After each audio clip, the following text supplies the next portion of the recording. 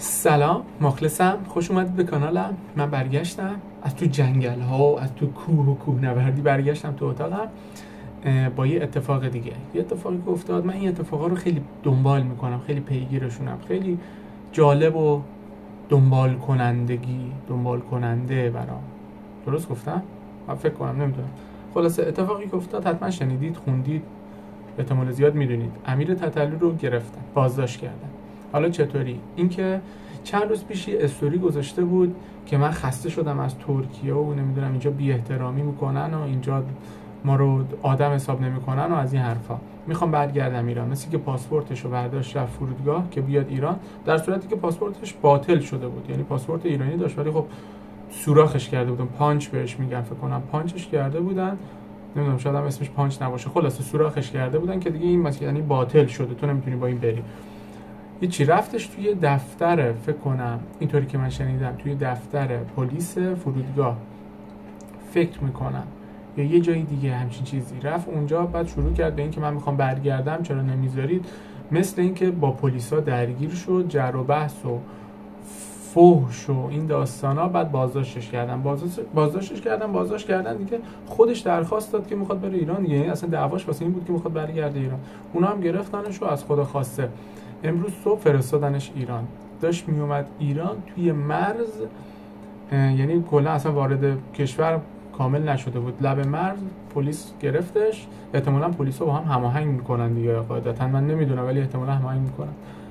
پلیس ایران لب مرز گرفتش. همونجا حکم بازداشتش اومد. بازداشت شد و اینکه الان دیگه احتمالا بازداشتگاه دیگه توی زندان. زندان که حالا نه همون بازداشتگاه. حالا دلیل بازداشتش اینطوری که توی پیامو گفتن قوه قضایی اعلام کرد شکایت خانواده های زیر 18 سال. یه ذره عجیبه ترهین شکایت. حالا اینکه واقعا همچین شکایتی بوده یا نه احتمالش هست که باشه. ولی اینکه پیگیری شده انقدر سریع دلیلش حالا شاید این باشه ولی چیزی اگه این به شکایت هم نب... اگر واقعا باشه و اگر نبود باز هم بازداشت می‌شد. به خاطر حرفایی که زده به خاطر آهنگایی که خونده به خاطر ظاهرش حتی. حالا ظاهرش رو که واقعا حالا چی میگن؟ نمی‌خوام خیلی شعاری صحبت صحبت کنم ولی ظاهر ظاهر هر کس به خودش مربوطه. اصلا دوست داره اون شکلی باشه. شاید ما خوشمون نیاد. شاید هم خیلی خوشمون بیاد. تا یه حدی من خودم تتو رو دوست دارم من تتو ندارم. ولی تا یه حدی تتو رو دوست دارم. ولی خب از یه حدی به بعد میگذره دیگه چهره آدم عوض میشه. من خودم دوست ندارم اون شکلی باشم ولی خب تتلو دوست دارم اون شکلی باشه به منم ربطی نداره.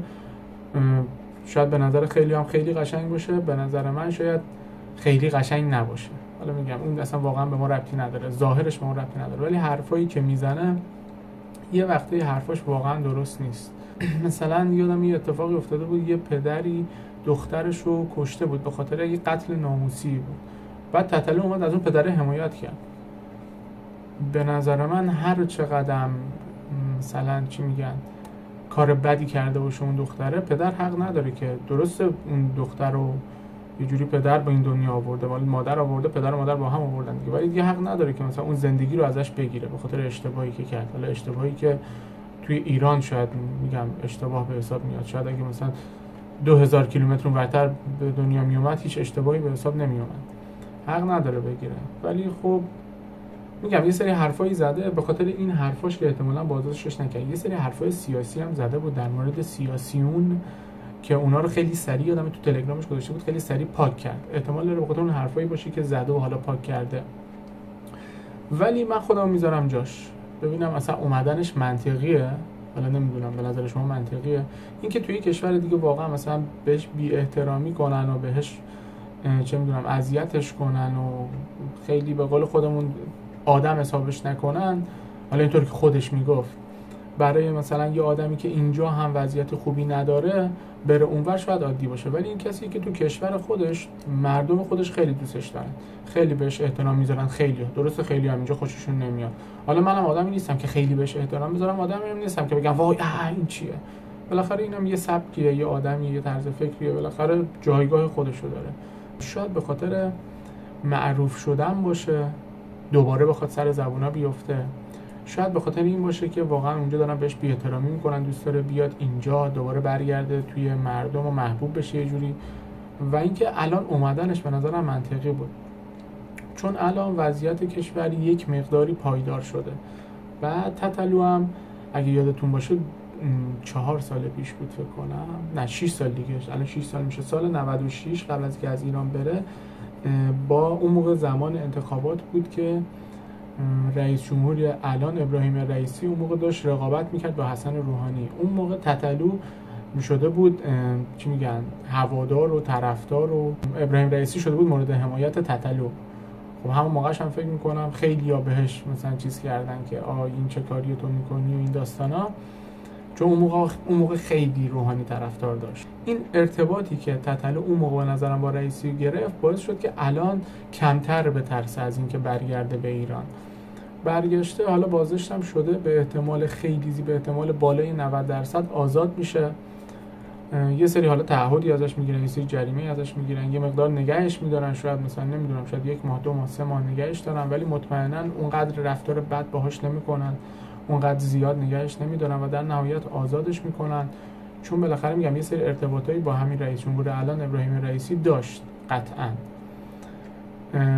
و اینکه من خیلی منطقه واسه مثلا میگم خودم اگه بذارم جاش اگه من بودم دنبال دردسر نبودم. ولی یه آدمی مثل تتلو اصلا گاهی احساس می‌کنم دنبال دردسر.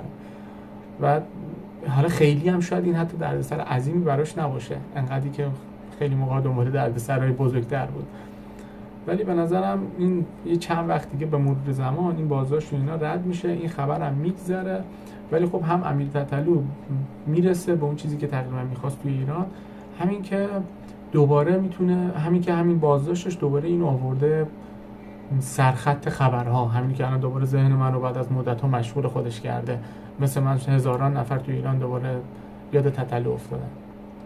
به نظرم اینا همین جریان ساسی مانکن که آهنگا رو می‌خونه. این تتلو با این حرکتش خواسته یه جوری دوباره بیفته رو بورس بیفته سر زبونا اینا مخشون خیلی کار می‌کنه. نمی‌دونم زیر آسمون شهر شما سنتون می‌رسه نمی‌رسه دیدین ندیدین. اونجا یه غلامی شیش بندی بود می‌گفت دوگوله.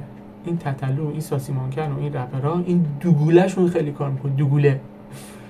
این خلاصه اومده دیگه. ولی کارش به نظرم نه خیلی غیر منطقی خیلی غیر منطقی بود. نه خیلی منطقی بود. به نظرم کار زیرکانه ای بود.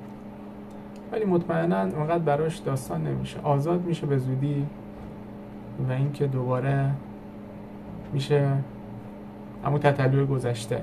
فعلا البته تا دوباره بره. احتمالش از دوباره بره. خیلی جالبه به نظرم این کاری که اینا می‌کنن. میگم مخشون خیلی کار می‌کنه.